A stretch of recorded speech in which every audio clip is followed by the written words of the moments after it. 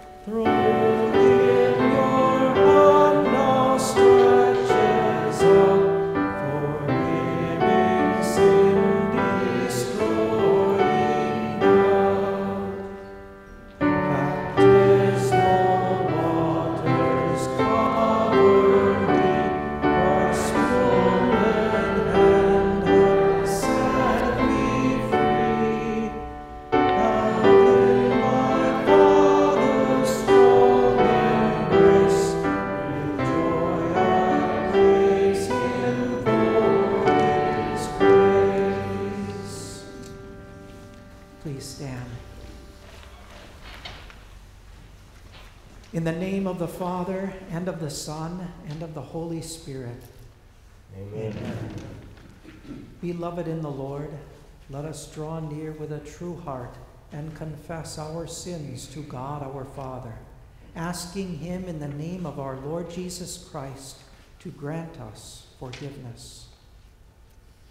Holy and merciful Father, I confess that I am by nature sinful and that I have disobeyed you in my thoughts, words, and actions. I have done what is evil and failed to do what is good.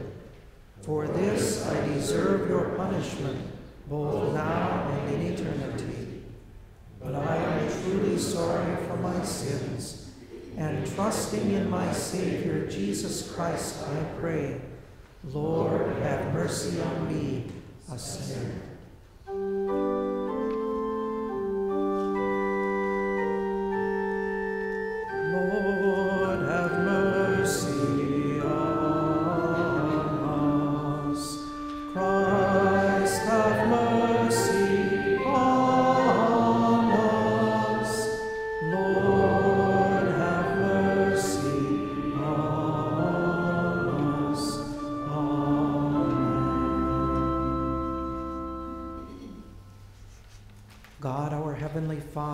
has been merciful to us and has given his only Son to be the atoning sacrifice for our sins.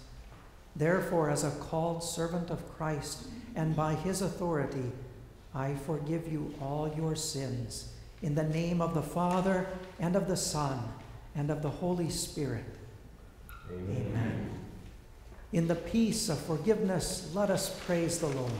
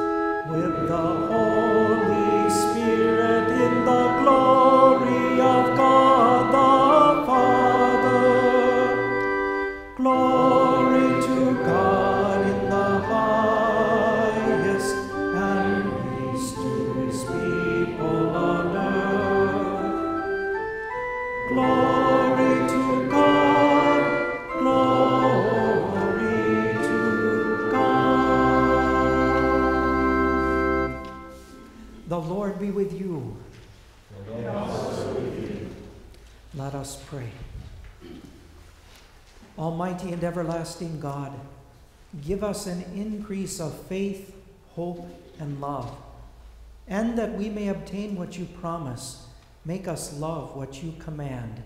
Through Jesus Christ, your Son, our Lord, who lives and reigns with you and the Holy Spirit, one God, now and forever.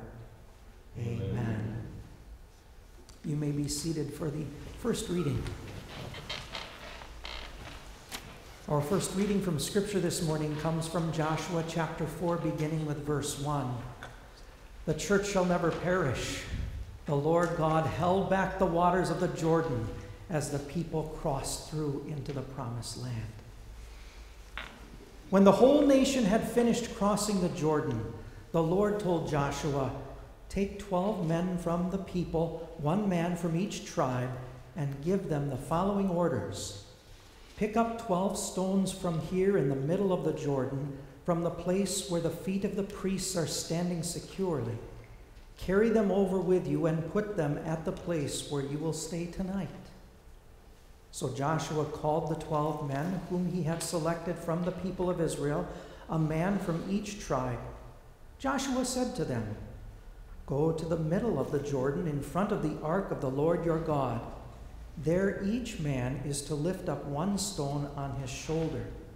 The number will correspond to the number of the tribes descended from the sons of Israel, so that this may be a sign among you when your children ask in the future, What do these stones mean for you? Then you shall respond to them that the waters of the Jordan were cut off in front of the ark of the covenant of the Lord. When the ark passed through the Jordan, the waters of the Jordan were cut off. These stones will serve as a permanent memorial for the people of Israel. So the people of Israel did just as Joshua had ordered. They picked up 12 stones from the middle of the Jordan, corresponding to the number of the tribes descended from the sons of Israel, as the Lord had instructed Joshua. They carried the stones over with them to their lodging place and deposited them there. Joshua also set up 12 stones in the middle of the Jordan at the spot where the feet of the priests carrying the Ark of the Covenant had stood. They are there to this day. This is the word of the Lord. You are part of God's church by his grace. Therefore, happy are the people the Lord has chosen to be his own. We sing Psalm 34.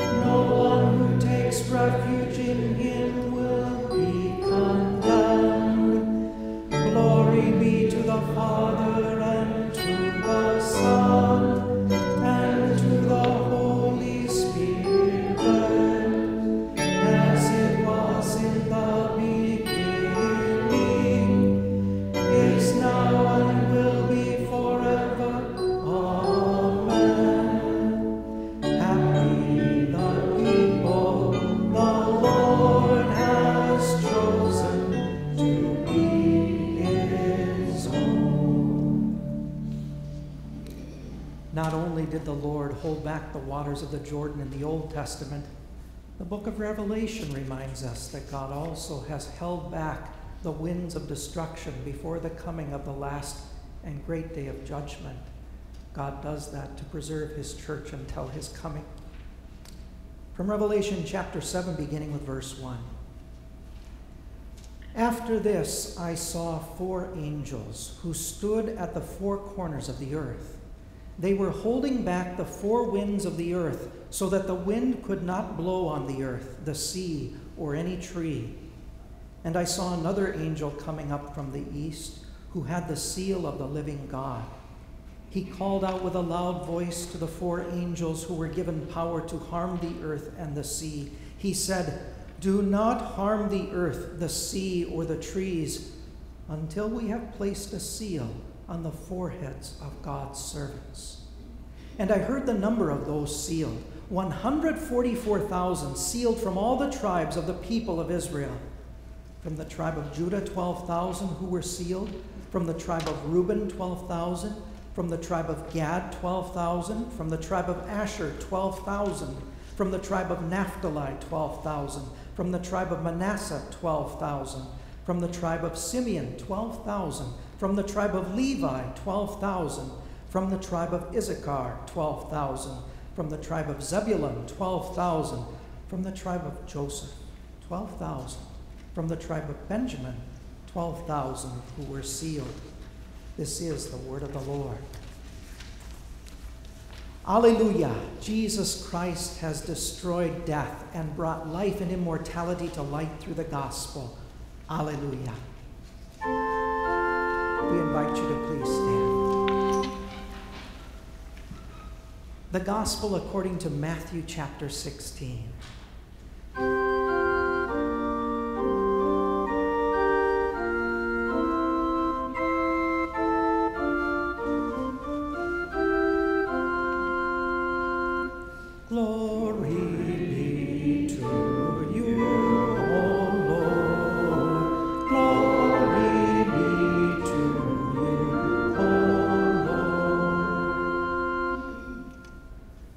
Gospel according to Matthew chapter 16, the church remains on the rock of our Redeemer, Jesus Christ. This will also serve as our sermon text for this morning. When Jesus came into the region of Caesarea Philippi, he asked his disciples, Who do people say the Son of Man is? They said, Some say John the Baptist, others say Elijah, and others Jeremiah or one of the prophets. He said to them, But you, who do you say that I am? Simon Peter answered, You are the Christ, the Son of the living God. Jesus replied, Blessed are you, Simon, son of Jonah, for flesh and blood did not reveal this to you, but my Father who is in heaven. And I tell you that you are Peter, and on this rock I will build my church, and the gates of hell will not overpower it. I will give you the keys of the kingdom of heaven. Whatever you bind on earth will be bound in heaven, and whatever you loose on earth will be loosed in heaven. Then he commanded the disciples not to tell anyone that he was the Christ. This is the gospel of the Lord. Be to you,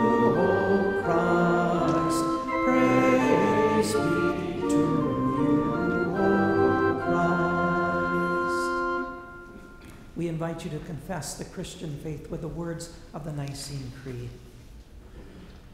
We believe in one God, the Father, the Almighty, maker of heaven and earth, of all that is seen and unseen. We believe in one Lord, Jesus Christ, the only Son of God, eternally begotten of the Father, God from God, light from light, true God from true God begotten, not made, of one being with the Father. Through him all things were made. For us and for our salvation, he came down from heaven, was incarnate of the Holy Spirit and the Virgin Mary, and became fully human. For our sake, he was crucified under Pontius Pilate. He suffered death and was buried. On the third day, he rose again in accordance with the Scriptures he ascended into heaven and is seated at the right hand of the Father. He will come again in glory to judge the living and the dead, and his kingdom will have no end.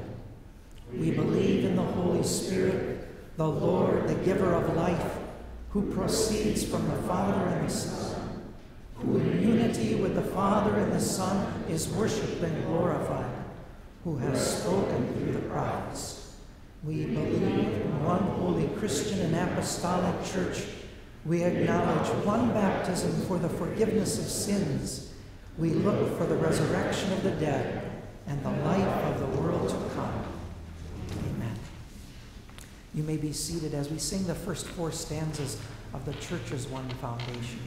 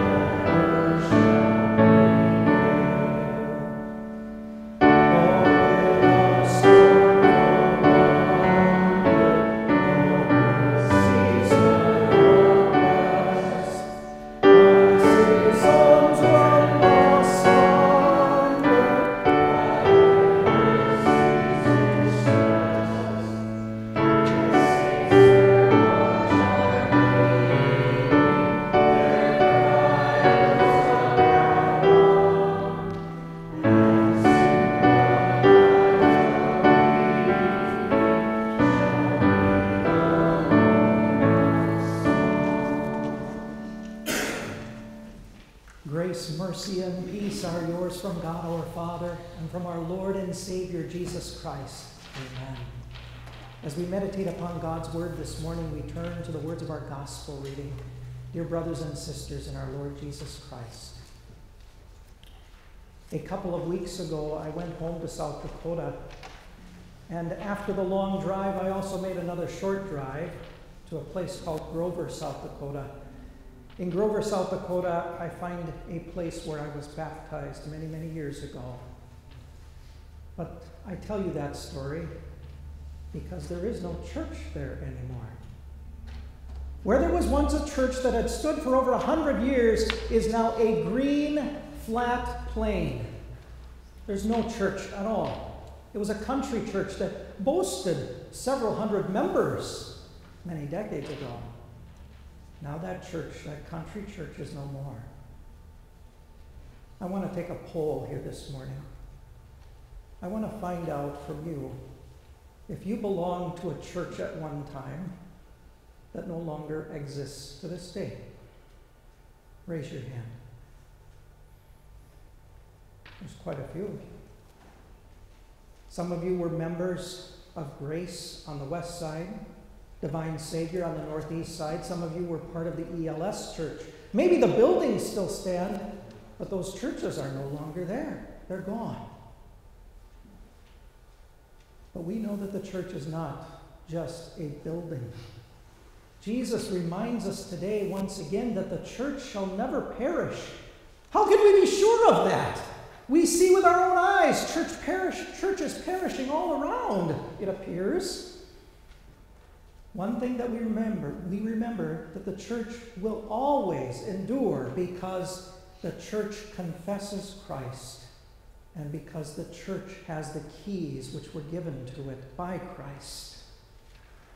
Think about the time when Jesus spoke these words in Matthew chapter 16. Jesus was in his last, day, last year before he would actually die upon the cross. During that last year, he would often take his disciples alone and speak to them. And that's what he did here as well. He asked them a question one day Who do people say that the Son of Man is? It's kind of an interesting response that they came up with when those disciples had listened to the different, differing opinions that people had of Jesus. Some of them said, well, he's John the Baptist, or he's Jeremiah, or one of the other prophets, Elijah. Think about that. People had opinions of Jesus, and we could even say that they had high opinions of Jesus. To say that he was a prophet, wow. But even though they had these high opinions of Jesus, they weren't high enough. To their eyes, Jesus looked like a diamond in the rough. He could do a lot of good things, speak a lot of good words, but this wasn't the Savior, the Messiah that they had anticipated. So they didn't see Jesus as more than just a prophet. They didn't see him as the prophet. Has anything changed today? Are there still people today who think of Jesus as just a nice guy, a wise man, a prophet? There's even some false religions out there who see Jesus as that. But there's even Christians who can mistake Jesus they mistake his identity by saying, well, he's just a powerful prophet. He did a lot of good miracles. He was quite a miracle worker, and I expect him to do some miracles in my life too. Then I'll believe in him more and more if he would just do some miracles in my life. Some people see Jesus as a moral advisor. Jesus comes along and says, Do this, do this, do this. Don't do this, do this, do this. Hmm? As if to tell us what we are to do and not to do. And when we do and don't do those things that Jesus says, then somehow we are favored by God by all the good things that we do. He's that moral advisor. Some people see Jesus as a social warrior. Someone who's going to come and help me either in his person or by the government and give me all kinds of goodies so that I will be satisfied with the riches of this life. Jesus will take away all my troubles in this life. Jesus is my social warrior. And all the while, they mistake the true Jesus for who he really is. They don't know who he is. Jesus hasn't come just to be a moral advisor. He has come to point at each one of us and remind us we have all fallen short of the glory of God. Jesus has come to remind us that He is our Savior who has taken away those sins. So that each day we live, we live in that forgiveness that Christ has won for us. Jesus is far more than a moral advisor. Jesus is far more than a social warrior. Jesus didn't come to relieve me of all my pain and sickness and disease and injustice in this life. Jesus said, There's going to be many crosses you as Christians will have to bear in this life. You are not in that kingdom of glory. You are in a kingdom that is called the church militant, where there are going to be many battles, many struggles, many doubts, many fears that you will have to overcome, but you do not overcome them alone. Christ is with you. Christ, your Savior, is there to help you. Christ comes to you through his word to relieve you, to give you peace that this world cannot give. Jesus did not come to relieve you of all your physical injustices in this world. He is the Savior who has justified you from all your sins so that when your last day comes, you will be able to stand before the gates of heaven and enter those gates by His grace, by His grace alone. Dear friends, Remember what Peter said here. Peter said to Jesus, You are the Christ, the Son of the living God. That's who Jesus is. Remember that he is God's chosen, the deliverer from all sin, the one who grants forgiveness of all those sins, the one who is your Savior from sin the one who promises you eternal life with him in heaven, the one who gives you strength for each passing day until he finally delivers you from this vale of tears and brings you safely home to heaven. That's God's gift to you. Confess him just as Peter did. C.S. Lewis, who was once a very famous writer, he said this. He said, Either Jesus is a madman who deserved to be killed, or he is God and Lord who deserves to be bowed down to and worshiped. But anything in between that, he has not given us that option of just saying he was a nice guy or a powerful miracle worker. He has not given us that option. He is the Christ, the Son of the living God. And may we continue to confess as Peter did so long ago. That is the source of the strength of the church, which has been revealed to you by God's word. Flesh and blood did not reveal that to you. God, through his word, revealed that to you, just as Jesus said had been revealed to Peter. It's been revealed to you by God's grace through the word. But how is the church continue to, to be sustained through these times, in these times of vitriol, these times of acrimony that we see all around us today, how will the church be sustained at a time like this? Jesus gives a beautiful gift to his church called the keys. Remember how Jesus turns to Peter and says to Peter, You are Peter, and on this rock I will build my church many of you probably already know this is what the Roman Catholic Church points to and says, look at Peter was the first pope, and throughout the ages, this is what the church stands on the pope and his word. But that's not what the word of God says. Jesus has a play on words. There's two different Greek words here. There's the word Peter, which means rock like, and then there's the word rock. But what is the rock upon which the church stands? Is it Peter? Peter was a sinful man. That's shown in Scripture. The church doesn't stand on a sinful man, on a sinful man. Peter would be a dying man.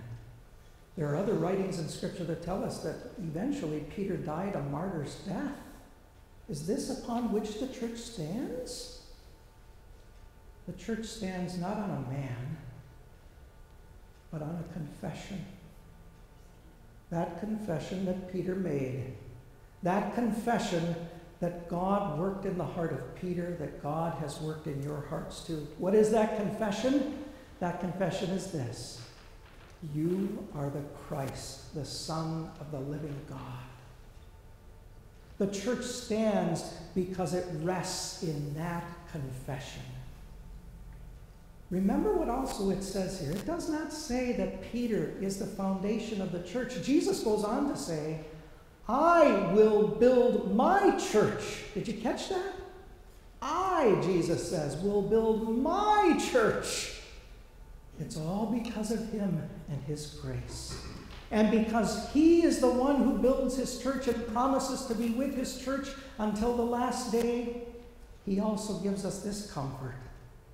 He tells us the gates of hell will not prevail against it. The gates of hell, they stand wide open, ready to take in as many people as they possibly can. We have a formidable foe in the devil. He is our old, evil, wily foe who will continue to cause doubt and despair in the minds of people to take their eyes off of Jesus and confession of Him. Dear friends, Jesus says the gates of hell will not prevail against his church. Isn't this a great comfort to know, in spite of all that we see happening? Even when churches may close, Jesus says that the church will continue to endure until the last day. Now, he does not promise that in this place, until Jesus comes again, that this church will exist. He says the church, namely God's people, and the word and the sacrament, that will endure until Jesus comes again. And in that we rest and find peace. Dear friends, Jesus has given to you what he gave to Peter. Jesus gave a high honor to Peter. But that same high honor has been given to each and every Christian. That's the keys. What are the keys? You know what the keys are. They unlock and lock your doors, right? I must admit, this past week, I actually closed and locked the door to my house, and I was locked out. No way I was getting back in. Has that ever happened to you? God has given you spiritual keys, a locking and unlocking key. You, by God's grace, are able to unlock the doors to the God's kingdom of grace, which leads to that kingdom of glory. You are also able to lock, to use that locking key too when necessary, huh? Martin Luther put it so well in the Catechism. He says, The use of the keys is that special power and right which Christ gave to his church on earth to forgive the sins of the penitent sinner but to not forgive the sins of the impenitent sinner as long as they do not repent. This is the life of the church. Don't just think that it's the pastor on Sunday morning who extends forgiveness to sinners. You do that. You do that, grandmothers and grandfathers, as you share the words of forgiveness with a child or a grandchild. You do that, dear parents, as you meditate upon God's word in your family homes. The use of the keys is the life of the church, extending that forgiveness of Jesus when it is necessary, when we are to do that. Also, to withhold that forgiveness in love when someone continues to live in their sin and not realize that they are living in impenitence. I once had a person come up to me and say, Preacher, you cannot forgive sins. Only Jesus can. How can you stand up there on a Sunday morning and say, I forgive you all your sins? And I told him, Well, look at what God's Word says. God has graciously given these keys to His church. I am a minister of the Lord, extending that gracious gift of forgiveness to his people. And did you notice in our confession and absolution this morning? What were the words preceding those words that I spoke? I forgive you all your sins. We talked about Jesus and his forgiveness. And then we said, I am a servant of the Lord. I am a servant of God. And by his authority, I forgive you all your sins. I can't forgive somebody, but Jesus has. And through me and through you, he continues to extend his forgiveness. This is the life of the church. You are part of that life of the church. Dear friends, we see churches closing, don't we?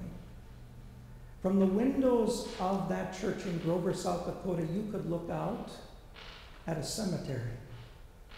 That's why my family members and I went to that site where that church was, because I have grandparents buried there, great grandparents buried there, great great grandparents buried there. But they're still part of the church. The church that I look forward to being a part of. I'm part of the church militant here. I will be with them in heaven in the church triumphant, and so will you, all by the grace of God. And therefore, we can say, the church shall never, ever perish. Praise be to God. Amen. Now, the peace of God, which surpasses all understanding, keep your hearts and your minds through faith in Christ Jesus. Amen.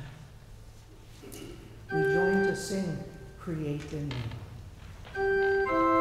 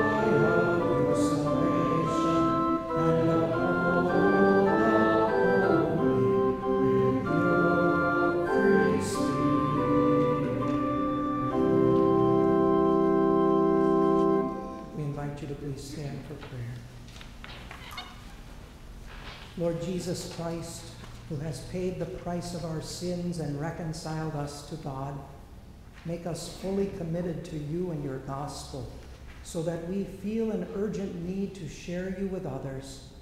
Help us to seek and save the lost among our families, neighbors, and friends, and bless the word we speak, using it to work faith in their hearts. Cause the word of salvation that is sown and rooted in the hearts of the redeemed sinners to bring forth abundantly the fruit of good works to your glory. Defeat every godless force which would lay stumbling blocks in the way of the gospel. Give our pastors, teachers, and missionaries a deep sense of dedication to their calling, that selfish pride and self glory may have no part in their ministries. Fill each of us with enthusiasm for their work. May we ever support them with our prayers and willingly provide for their physical needs. Protect our missionaries wherever they labor, keeping them and their families from all harm and danger. According to your gracious will, give them good health and spare them the ravages of sickness and disease. Bear them up when they have no strength and encourage them when, they, when the way is difficult. Hinder every evil power which would threaten to drive our missionaries from foreign lands. Open up those countries to the gospel which before have been closed to it. Grant that your word, wherever it is preached, will not return to you empty, but will accomplish your purpose of bringing sinners to repentance. O crucified and risen Christ, give grace to your church day by day that it may accomplish that task to which you have called it, to witness your name in all the world and to preach the gospel to every creature.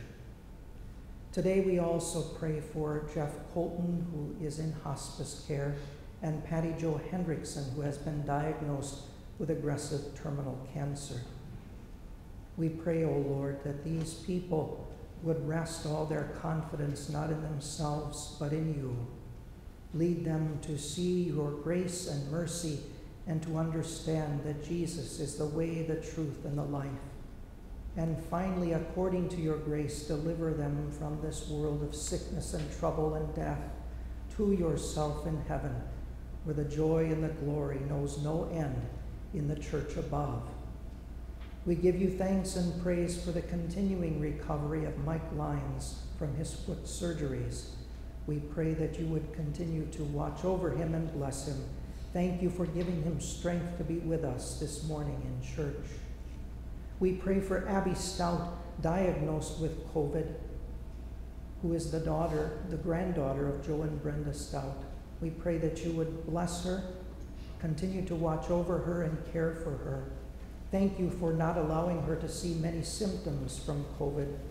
Give her peace and patience during her time of quarantine. Bless all those who are sick at this time and give them a speedy recovery according to your will. Lord, hear us as we also bring to you our private petitions.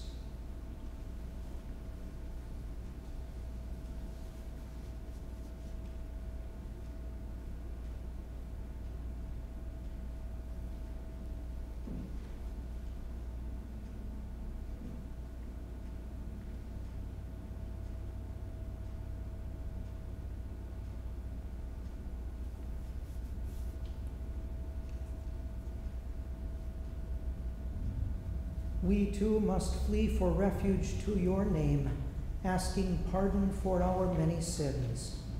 Pardon especially our neglect of your great commission, for we all too often fail to glorify your saving name to others. Forgive us and save us, precious Redeemer of mankind. Amen. And in Jesus' name, we also join to pray the Lord's Prayer. Our Father, who art in heaven, hallowed be thy name. Thy kingdom come, thy will be done on earth as it is in heaven. Give us this day our daily bread, and forgive us our trespasses, as we forgive those who trespass against us. And lead us not into temptation, but deliver us from evil. For thine is the kingdom, and the power, and the glory forever and ever. Amen. The Lord be with you. And also with you. Lift up your hearts. We lift them up to the Lord. Let us give thanks to the Lord our God. It is good and right so to do. It is truly good and right that we should at all times and in all places give you thanks, O Lord, Holy Father, Almighty and everlasting God, through Jesus Christ our Lord, who promised that wherever two or three come together in his name, there he is with them to shepherd his flock till he comes again in glory. Therefore, with all the saints on earth and hosts of heaven, we praise your holy name and join their glorious song.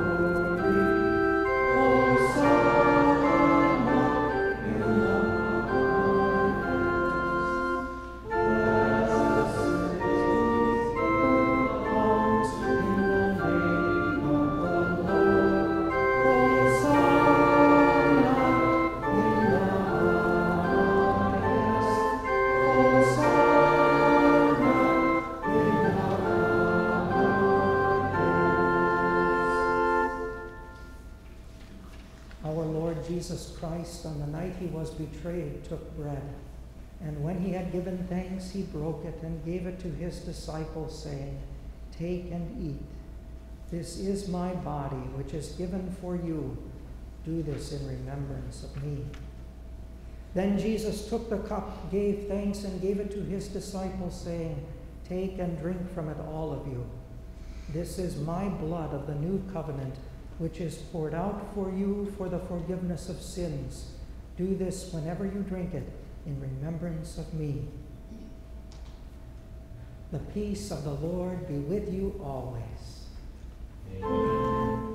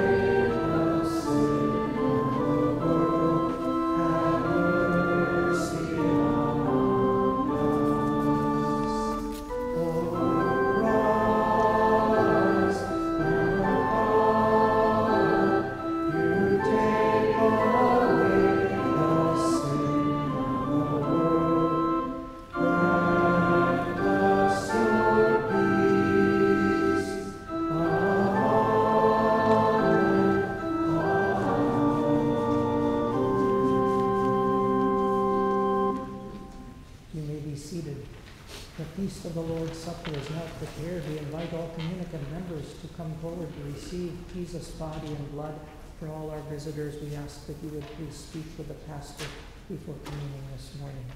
God bless our celebration of his sacrament.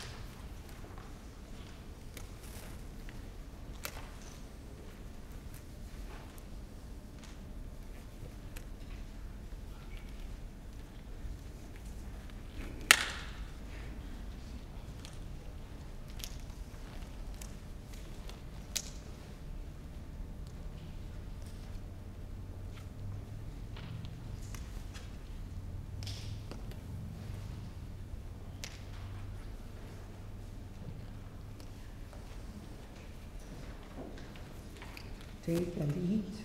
This is the true body of our Lord and Savior Jesus Christ, given over to death for all of your sins.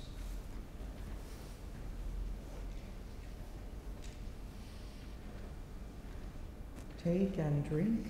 This is the true blood of our Lord and Savior Jesus Christ, shed for you for the forgiveness of all your sins. Now, this true body and true blood of our Lord and Savior Jesus Christ strengthen you and preserve you in the one true faith unto life everlasting. Your sins are forgiven in Jesus our Savior. Depart in his peace. Amen.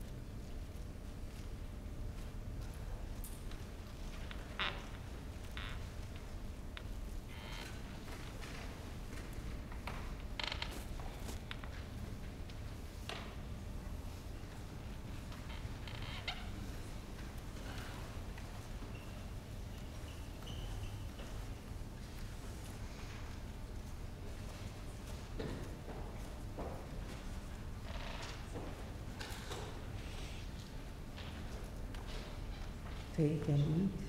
This is the true body of our Lord and Savior Jesus Christ,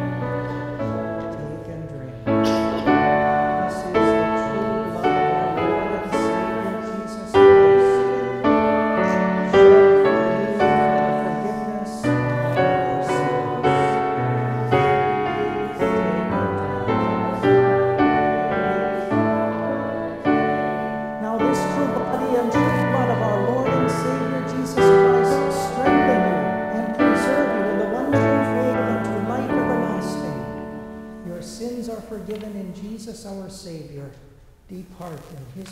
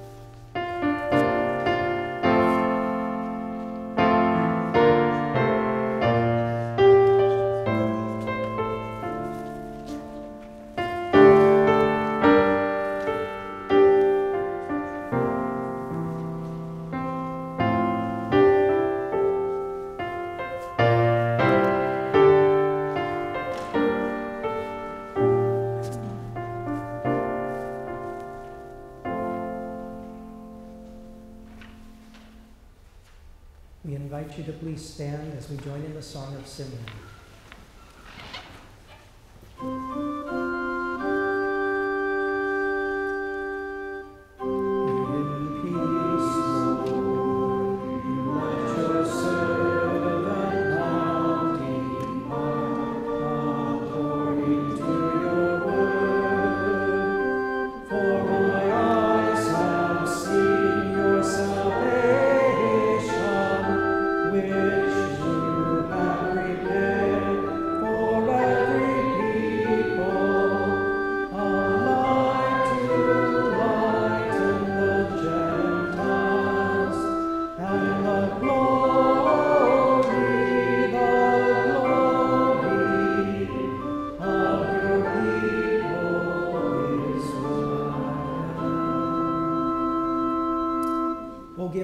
To the Lord, for he is good.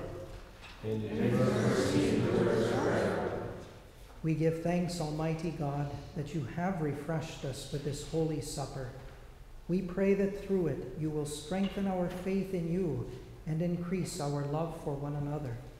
We ask this in the name of Jesus Christ our Lord, who lives and reigns with you and the Holy Spirit, one God, now and forever. Amen. Amen. The Lord bless you and keep you. The Lord make his face shine on you and be gracious to you. The Lord look on you with favor and give you peace. Amen. We invite you to remain standing for the final hymn, the hymn verse of the Church's One Foundation.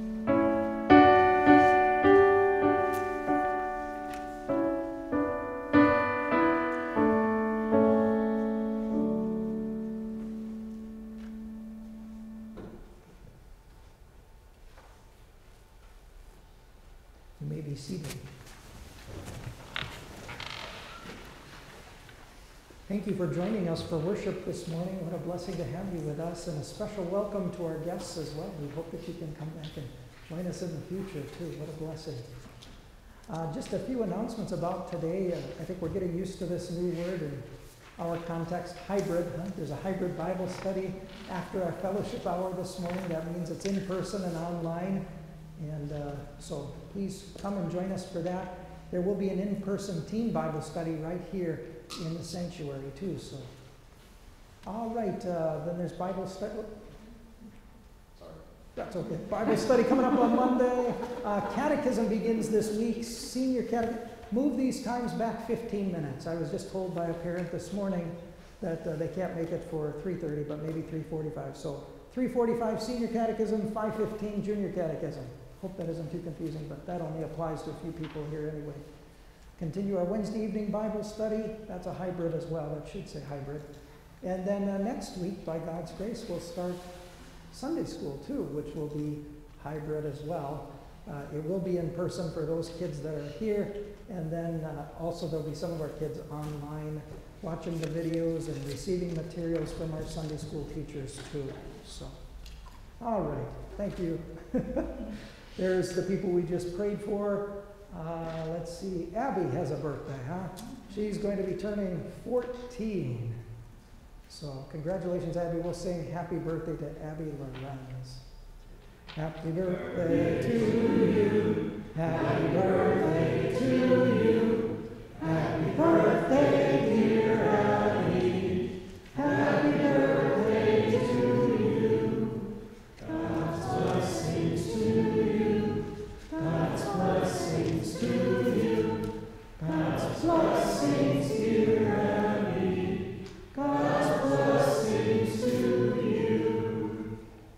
birthday, Abby.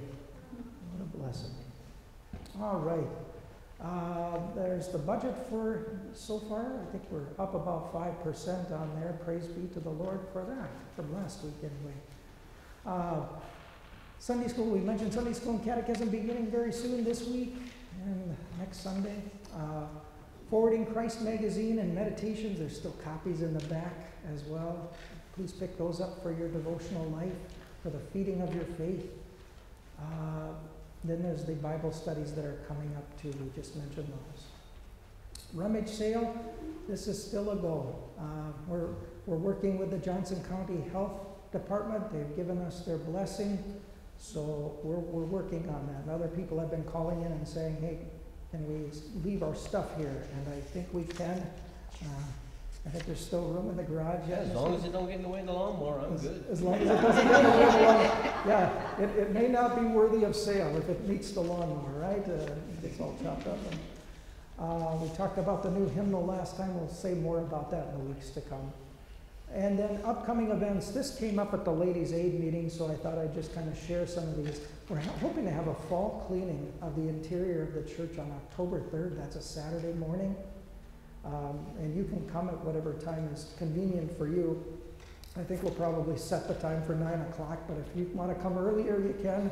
Or if you need to come later, you can, you can too. But we'd appreciate many hands to make light work of that.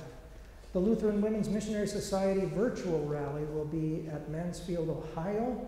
Uh, you can watch it from the comfort of your own home. There will be a missionary giving a presentation on that day too. Uh, well, here we go way ahead, huh? We're not just skipping over Advent. Advent services will be happening too, but again, I'm just relaying what the Ladies' Aid came up with, right? Christmas decorating.